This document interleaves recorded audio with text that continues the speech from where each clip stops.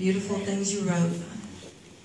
It kept me going and kept Ross going. It helped him too, all that you said while he was here.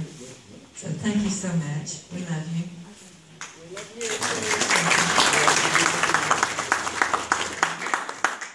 So if I can, I'm going to do Coal Miner's Daughter for several people that like it.